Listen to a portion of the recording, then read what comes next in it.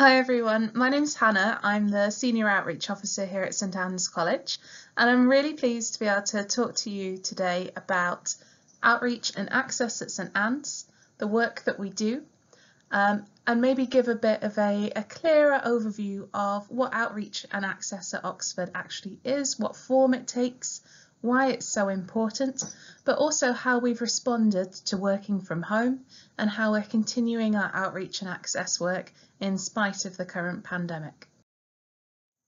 So just to introduce you to the team, there are two permanent members of outreach staff here at St Anne's. Uh, there's my colleague Jessie and myself, and we're both past students of Oxford. Jessie studied music at St Hugh's and graduated last year, and is currently completing a master's degree in education research methods.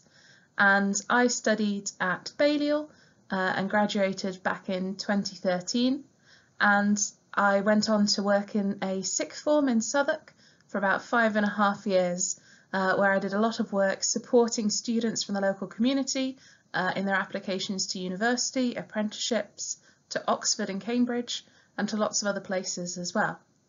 Uh, and together we bring a lot of experience of working with students of all different ages. Jessie's done a lot of work on programmes like UNIQ, has been a student ambassador and has been involved in programmes like the Brilliant Club and Sutton Trust. And I've done a lot of work from the school side as well. So together we bring quite a lot of experience working with young people, um, getting them enthusiastic about education, and we're both really pleased to be working here at St Anne's. One thing that's important to point out about how Oxford does their outreach and access work is that all colleges are linked with regions across the UK and that is in order to ensure a fair spread of resources uh, but also so that colleges aren't putting all of their work into one particular region uh, rather than uh, sharing them fairly out across all regions. So the regions that St Anne's predominantly works with are Hillingdon and Southwark in London, and also in the northeast of England. So our link regions there are Gateshead, Newcastle, uh, Northumberland, North Tyneside, South Tyneside and Sunderland. And as you can imagine, uh, having that work in two very different areas of the UK brings its own problems and also its own exciting challenges as well. Uh, but one simple issue is the fact that uh, the northeast of England is geographically distant. So that means that we will spend entire weeks of our year uh, travelling up to the northeast to make sure that we're able to meet with schools and with students and to give them clear and accurate information about Oxford and about applying to Oxford. That doesn't mean that we can't work outside of our link regions though. So some of the work that we do might be with charities um, and education organisations outside of our link regions uh, or with some links to our link regions. And we might also work with other colleges on other activities um, or uh, in areas where we've got existing contacts. However, the main bulk of our work is done in those regionalisation link regions. And if you want to find out more about those, uh, have a look at the link in the slide and that will give you more information about which colleges are linked with which regions. So I keep mentioning the words outreach and access, but what do those words actually mean and what do they encompass? So really outreach is kind of an umbrella term that covers lots of different things. One of those things is widening participation.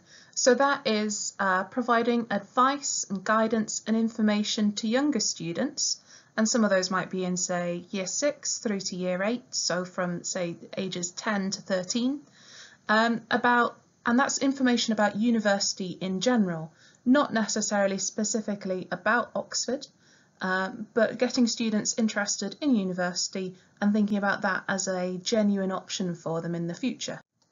And under widening participation, we often mean those groups that are underrepresented at university at the moment. So that might be from a, from a particular region. So that includes in particular the northeast of England, um, that can also include students from black and minority ethnic backgrounds. That can be students who have had uh, personal disadvantages, such as they've had free school meals or their first generation to go to university as well. And that brings us on to widening access. So that is students who are currently underrepresented at universities and particularly competitive universities um, and encouraging them to make a successful application. And then the final method of working with prospective applicants is recruitment. So that is working with um, prospective applicants regardless of background. So regardless of whether they are state school or whether um, they are privately educated, but giving, making sure that they have all the information that they need in order to make a fully informed application to a place like Oxford. More recently is something slightly out of the umbrella and that is InReach. So that is working with your current students at university. Um, that can be getting them to engage perhaps as student ambassadors and ties in quite nicely with the aims of widening participation and widening access. But also that is ensuring that students who have come to university under that sort of widening access label are still able to make a successful transition to university and that they are fully supported whilst they're at university as well. Hello, my name is Jessie and I work as an outreach officer at St Anne's College um, and I'm also doing a Masters at the University of Oxford at the moment in Educational Research Methods. Now, my master's is actually focusing on one of the St Anne's College outreach projects, Aim for Oxford, um, but I'm also looking at why it's really important that we do outreach work and who we do outreach work with. Now, to start with, the one really important reason why it's so integral to St Anne's College is because it's an important part of the ethos of the college. The college is known for being forward thinking and outward looking and strives itself for having a radical tradition of uh, widening access to Oxford education for those who could not access it before. Starting as the Society of Homes, Oxford Home Students in 1879, it enabled women in the UK and many other countries to attend the university in a unique way that they couldn't before, which was a lot more flexible and affordable than others' women's halls. Now, that tradition, uh, starting with women in the 1870s, has extended to today, which now we're looking to improve our way of ensuring that students from a wide variety of backgrounds are able to access St Anne's College and it's open to all who would do well here. Inequality in accessing higher education isn't just across school type, in fact, it goes a lot uh, deeper than that and goes across different ethnicities, different classes, uh, those who are among the first generation of their family to go to university. But then also, really importantly for St Anne's College, uh, is there's a lot of regional inequality in access to uh, Russell Group and specifically Oxbridge education. Now, this is important for St Anne's given our work centres really in the northeast of England which is the most underrepresented region at Oxford. Now, you can see on the left hand side there the map which shows that there are 910 students uh, who achieve AAA or better at A level from the northeast of England each year, and that is the minimum entry requirement for uh, to gain entry into the University of Oxford. So they make up 5.6% of all students who achieve AAA or better at A level across the UK. However, they only make up 2.4% of students at the University of Oxford. So there's a significant more amount of work to be done to ensure that our regional access, that we're getting the best talent from the northeast of England, and that our work really centres on ensuring that the barriers that these students have in accessing higher education, that we as an institution work to break down those barriers to enable access. The university's Access and Participation Plan, which refers to UK students, uh, in line with the objectives set by the Office for Students, reflects the university's desire to encourage applicants of all backgrounds. After all, how can we claim to be the best university if we aren't accepting the best students? One of those targets involves terms that you might have heard previously in uh, regarding access and outreach, which are ACORN and POLAR. So these are these are students from postcodes that are judged to be socio-economically disadvantaged. So these are ACORN categories 4 and 5 and those from areas less likely to progress to higher education, which are POLAR quintiles 1 and 2.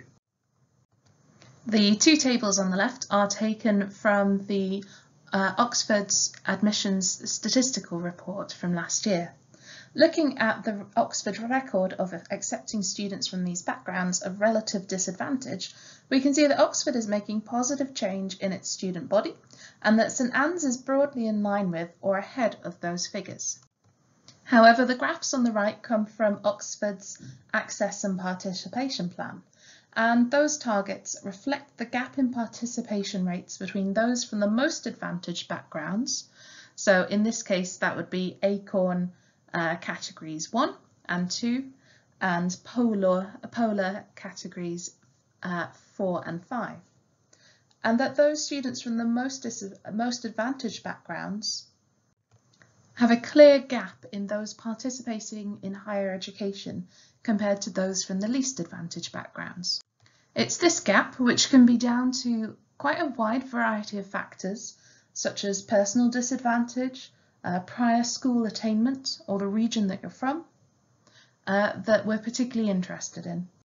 That's especially as only around 4% of students from polar, polar quintile 1 uh, backgrounds, only 4% of those school leavers achieve 3 A's at A level, so Oxford's minimum offer. But again, only around 30% of those students actually make an, currently make an application to Oxford. So this is why our targets and outreach and access activities show a commitment to narrowing that gap between the most advantaged and the least advantaged at Oxford. That's also why that it's so important that our outreach work and activities cover the whole time that a student is at school, not just their final years, as by that point it might actually be too late to make a significant difference to their overall uh, school attainment. There's a lot more that the university can and is doing in order to address this uh, socioeconomic disadvantage, as well as other things uh, such as particular stu student groups that are currently underrepresented at the university. And later on in this video, I'll mention some of the things that St Anne's is doing specifically in order to address this. So you've heard about why we do things, uh, but it's also important to know what we actually do, what our actual actions are. So between 2018 and 19, the college organised and delivered 127 different outreach events and activities, and they covered about 3,300 students from 170 UK schools or colleges. So some of those would have been in our link regions in the North East and London, but also through our work with organisations like the Brilliant Club and Into University, that also would have been students from, say, the Oxfordshire or the Midlands regions as well. Our activity is primarily focused on state schools, and we target schools then and different groups of students based on uh, things such as proportion of free school meals, GCSE attainment, and a variety of other personal factors as well. So our outreach activities take a couple of different forms. Uh, the main ones of those are inbound visits, so visits from schools, groups of students or education charities to the college and to Oxford, and outbound visits, which is uh, tends to be the outreach officers and maybe some student ambassadors or tutors going to particular regions that we work with. So those inbound visits might take a couple of different forms. Um, the picture in the top left is of a discovery day that we run. So that is uh, students in year 10, so about sort of 15, 16 year olds, uh, will come to the college. They'll get a talk from the outreach officer about what university actually is all about and how Oxford is slightly different. Uh, they'll get a chance to have a chat with some student ambassadors, a lunch in college, uh, testing out the delicious hall food, uh, and then in the afternoon we'll take a trip to a uh, museum or other activity so they can see uh, something else alongside their visit to Oxford. We also run similar visits for students in year 12, so students who are about sort of 17, uh, 16, 17, considering making an application to the university. And these are again from schools in our link regions and uh, alongside meeting student ambassadors, they'd also get an academic taster session, which is often run by a graduate or by one of our tutors. We also run some slightly more bespoke events, so these might be for a particular charity. So we've had groups um, on Saturdays from organisations like Generating Genius or the Caribbean STEM Coaching Club. We've also had visits from groups from Into University And we also host uh, larger visits from organisations like the Brilliant Club, who come and visit us regularly through the year. And they use the college then as a base for some of their activities and their programme of events, but also get more information about uh, Oxford University and how Oxford can be different to other universities as well. Based on the age of those students, you might be right in thinking that a lot of those activities are based around uh, widening access, but we also enjoy running widening participation activities. So for example, we've hosted a number of primary school visits and they have been a lot of fun. Uh, the students ask some fantastic questions and completely unfiltered questions as well and we've run tours then of the college or of other colleges around Oxford, uh, given them some taster days. So uh, when you imagine 30 year sixes sitting in a room learning about uh, DNA or about classical mythology, uh, they have a lot of fun doing those kinds of things.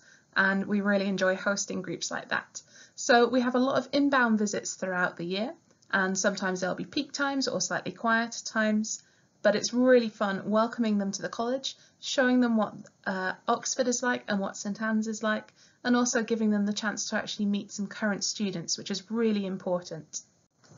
In addition, we'll also run inbound residentials to the college, and the main one of those is the Northeast Residential, which is for students from across the Northeast that we run jointly with Christ Church and Trinity colleges and with Lincoln College supporting, uh, as part of the Northeast Consortium. So that is the three colleges that work in the northeast of England hosting students and giving them a really fantastic time around the July open days. So it's a great chance for them to have a visit to Oxford and particularly for some of them the distance or the cost of travelling to Oxford can be prohibitive. So it's really important that we're able to run events like that, particularly for our more distant regions.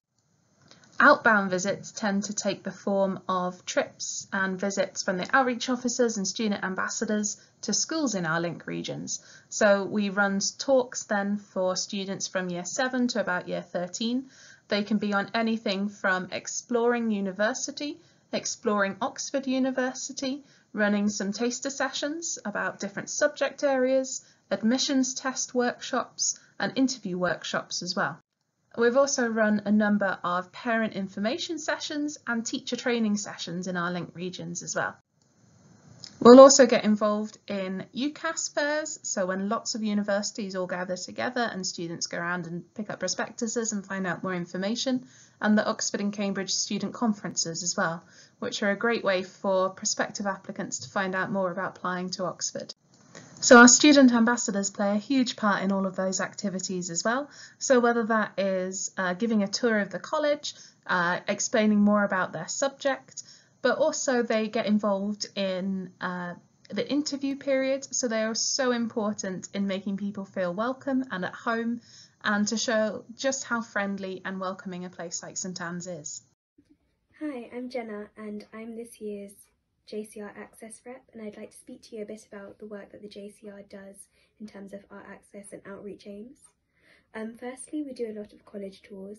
I feel like it's very beneficial having student ambassadors deliver these because the students that speak to us often have a lot of questions that I think they wouldn't feel as comfortable asking um, perhaps a member of staff, you know.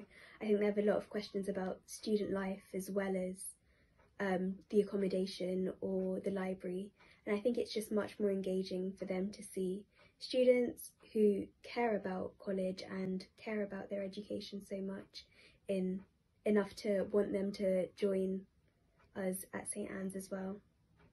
Um, also, college open days provide a really good opportunity to speak to um, student ambassadors, and I think having people who personally experience the courses is really insightful because they can ask questions that the academic staff can't really answer in, in terms of like, you know, perhaps workloads and how they manage them, how they go about their day-to-day -day, um, student activities. And whilst the academic office is really informative, um, it's often hard to grasp the individual aspect of student life for all subjects. Interview helping provides a really, really important role of making sure that each student feels welcome at St Anne's And I think I've spoken to a lot of students who have got in and spoken to us as ambassadors and been thanked personally for the work that we do, making them feel comfortable. I don't think this role could really be um, delivered by anyone other than student ambassadors because we really do understand what it's like to be put under, you know, the pressure of interviews. So I think we're the best to sort of help calm nerves and it's a really rewarding experience for us too. Um, over the term, whilst we were at St Anne's, we were filming videos to be put on our JCR web, the JCR section of the website as well as on our YouTube channel and I think that's really helpful in showing um, student life at St Anne's as well as what we enjoy about our subjects, what we enjoy about the university and what we did for ourselves that we'd recommend to someone else um, from an applications perspective. So things that we've read that really helped us understand something or a documentary that we watched and we've made sure that they're all really accessible to the vast majority of people. So one of the things that we've been able to launch this year in order to combat socio-educational disadvantage in the northeast of England, as well as going some way to address the fact that students from the northeast of England are underrepresented at Oxford University, is our Aim for Oxford programme. So this is a donor-funded programme uh, that was launched in September, and that is for students in year 12, so 16 to 17 year olds from state schools from the northeast of England. It's also a sustained outreach programme, which means that it will be running for uh, most of those students for two years, so through to the end of year 13 after they've made their university application. And the whole purpose is to support uh, very capable young people in making a strong application to the University of so we run Aim for Oxford in collaboration with Christ Church College, who also works in the northeast of England. And rather than just being a single talk or one-off activity, it is a series of activities throughout year 12, so uh, in the students' first year of sixth form, in order to help them consider different courses at university, but also to give them clear and accurate information about making an application to Oxford. So for example, we've run workshops on personal statements, we've run some workshops on supercurricular activities, and we'll also be running activities based around admissions tests. In our first year we had 40 places on the programme and received nearly 170 applications from the northeast of England, which is an incredible response. We selected students then based on factors of disadvantage, so particularly taking into account students who have ever been in care, who have been young carers themselves, who have ever had free school meals or who are first generation to university, as well as those from black and minority ethnic backgrounds. It's also one of the things that we've had to adapt quite quickly to uh, remote working as well. So under normal circumstances, we would have run a series of academic taster sessions and workshops up in the northeast of England uh, from January through to April, one per month and then invited students to a residential in August in Oxford and given them four days living in college, uh, showing them around the university, helping them to work on a particular project um, and supporting then a very academic application to Oxford. So before lockdown happened, we managed to run uh, an event in January and again in February, but unfortunately we weren't able to run our March and April events.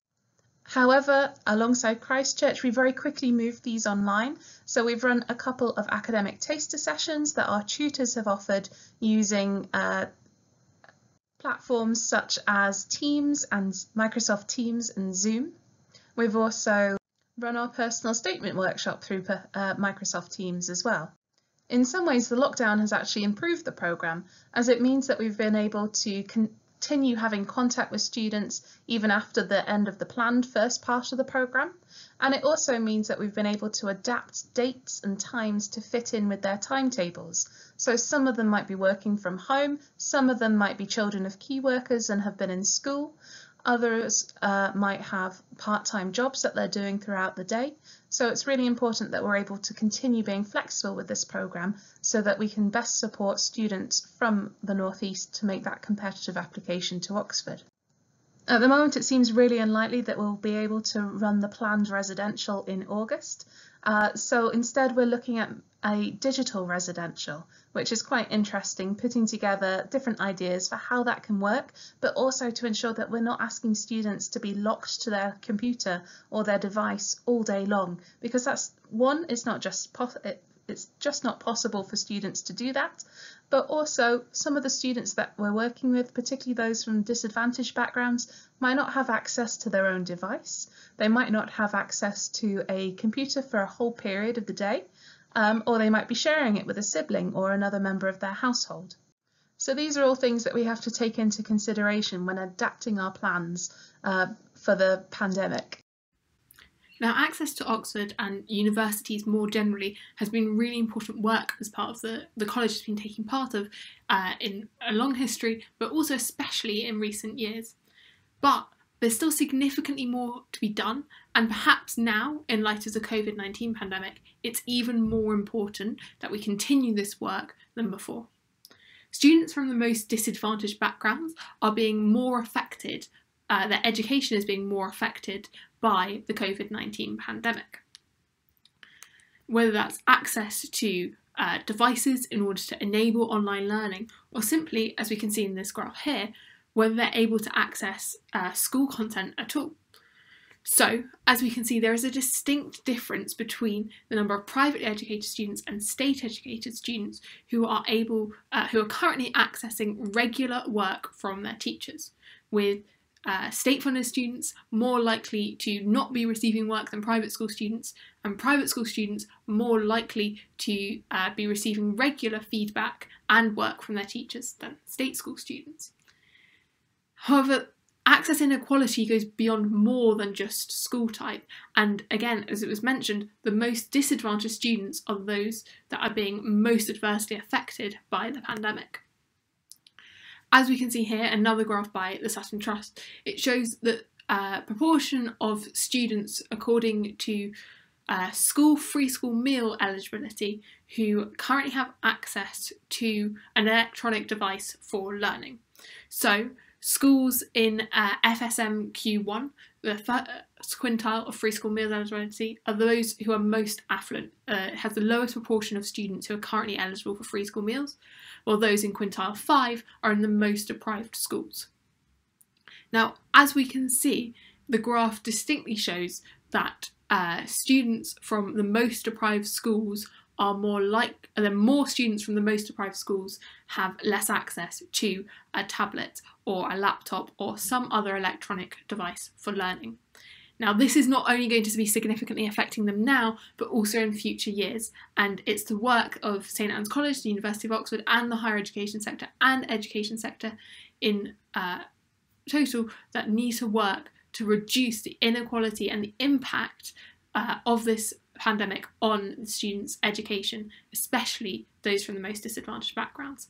And that's why it's really important that we continue our access work now and adapt it in light of the pandemic to ensure that we are still reaching students from the most disadvantaged backgrounds who could do well at St Anne's College.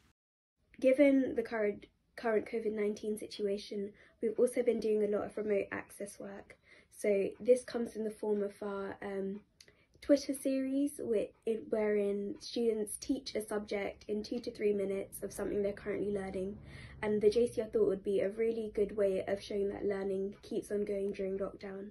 We intend to do college Instagram takeovers, which we've had many meetings about to show days in the lives of Oxford students even when we're away from Oxford and we really want to continue giving tours to students virtually so that they have a means of um, seeing college from a student perspective. So the move to working from home following the lockdown in the UK has also made things a lot more challenging and, and definitely kept us on our toes. As you might imagine, a huge amount of our outreach and access work uh, relies on face-to-face -face contact, whether that is school groups coming into the college or members of the college going out to schools.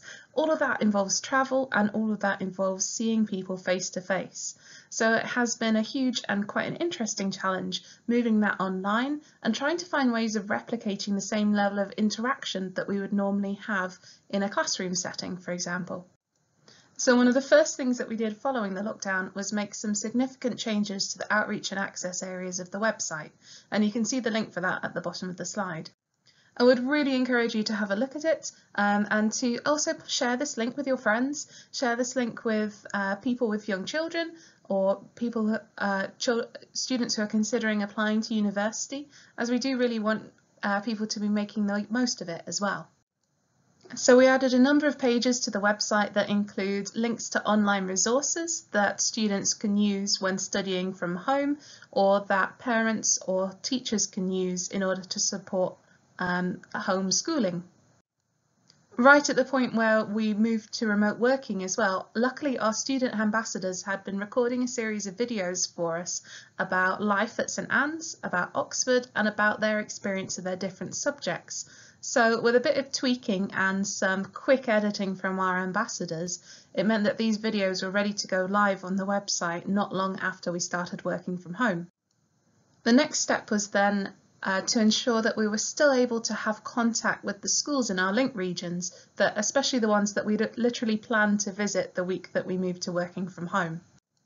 So we took all of our standard presentations, we had another look at them, and we thought, well, how can we ensure that these stay interactive? Because otherwise it's just us talking uh, to a blank screen uh, as we can't see student faces uh, due to safeguarding reasons. Uh, otherwise, it's just us talking to a blank screen for an hour, which is boring for them and also slightly scary for us. So luckily we found a tool called Slido, uh, which we've built into our presentations, and that gives us chance to uh, put in interactive activities, uh, anonymous question and answer sessions, uh, polls, quizzes, and ideas sharing as well. And that means that we've taken a little bit of the interaction and put that back into our online activities. We've also been able to set up online activities like a prospectus hunt as well, so that students uh, have a look at the Oxford website and they find information about courses that they're interested in and follow a few questions and answers there. We've also been really lucky about how quickly our academics have adapted to working online. So that means that we were able to run, for example, our Aim for Oxford taster sessions, um, and we're able to run on one, uh, for example, on uh, biomedical sciences and neuroscience. Our student ambassadors have also been fantastic about adapting to working from home and also showing their enthusiasm and their genuine involvement and commitment to outreach work. So in one of the photos on your screen, you can see uh, a group of ambassadors who joined in with a question, a live question and answer session with a school group that we had recently. And they've also been recording a series of videos that we've called St Anne's Shorts, which uh, shows what they've been learning about in their undergraduate degree and also gives a little glimpse into their home because they are also having to make that adjustment to working from home as well. Most recently, we also ran an online offer holder event. So uh, it's also quite unnerving, I imagine, for a lot of the students who currently hold offers for the University of Oxford and for St Anne's College, um, as they don't quite know what to expect when they come to the university in September, October, and for a lot of them as well, uh, they don't know what their grades will be because it's no longer determined by an examination, uh, it's determined by teacher predictions. So we were really pleased to be able to run something online that 90 of our offer holders were able to come and attend um, and answer their questions, whether they are general questions about living at college or finances or subject specific questions, but also questions considering the amount of uncertainty around the pandemic at the moment and what that will mean for their teaching and their learning in October uh, when they come to the university. So it has been a massive learning curve adapting to all these different online ways of working, but it's also been a lot of fun as well. And some of these activities, it's worth remembering, are actually worth continuing with past lockdown. In theory, this means that we can actually have more and continued contact, particularly with our geographically distant link regions, as we're able to run more online events and it doesn't involve having to travel up every time. However, it is no replacement for face-to-face -face contact. However, a massive concern for us, and especially if we're all going to be continuing uh, working from home for a lot longer, is what about our most disadvantaged students? So these are students who might have the academic ability and have shown the academic progression to make a really strong application to Oxford, but for whatever reason, and often they are socio-economic reasons, for example, might not have access to the internet at home.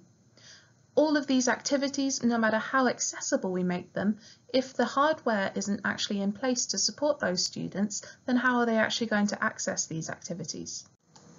Likewise, we have uh, massive concerns about how we're able to continue interacting with schools. We know that some schools have really struggled with moving to online teaching or haven't been able to do this for every year group. And particularly in those schools where only a couple of students or even one student might consider applying to Oxford or Cambridge in a year, um, they are quite honestly just not going to be a priority when teachers are struggling to make sure that students are continuing to learn. So although we have a lot of the infrastructure in place now in order to ensure that we can successfully run our activities and to ensure that we're still reaching out to students and to schools, we do have some wider concerns about what this means for access. So these are just some of the big questions that we need to be asking ourselves at this stage, but also reflecting on our practice and what changes we can make so that we are as inclusive as possible. So I hope this has given you a good overview of the kinds of activities that we do under normal circumstances, but also how we've moved to working online um, and the kind of outreach and access work that we do here at St Anne's. I hope it's also given you an idea of why it's really important that we're able to continue doing this work and that speaking with students and prospective applicants and sharing accurate information can actually make a genuine difference to whether someone chooses to apply to Oxford or doesn't choose to apply. If you've got any questions or would like to share any thoughts about what we've spoken about, then please do get in contact. We'd love to hear from you. And in the meantime, uh, thank you very much to Jesse and to Jenna for their contributions to this video and I hope you and your families are keep staying well and keeping safe.